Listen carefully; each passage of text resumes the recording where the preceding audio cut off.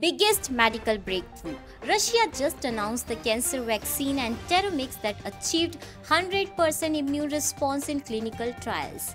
FMBA head Veronica Skvortsova said the mRNA based vaccine had successfully passed clinical trials, demonstrating its safety and high effectiveness.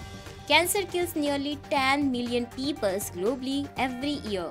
Current situation is very brutal, like chemotherapy destroy healthy cells along with cancerous one.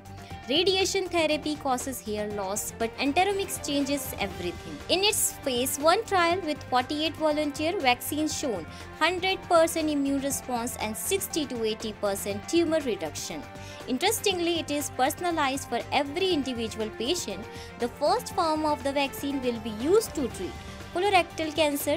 The drug was developed by Russia's National Medical Research Radiology Center in collaboration with Engelhardt Institute of Molecular Biology of the Russian Academy of Science. From 10 million deaths annually to potentially zero cancer death, this could be the biggest victory. What's your views? Comment.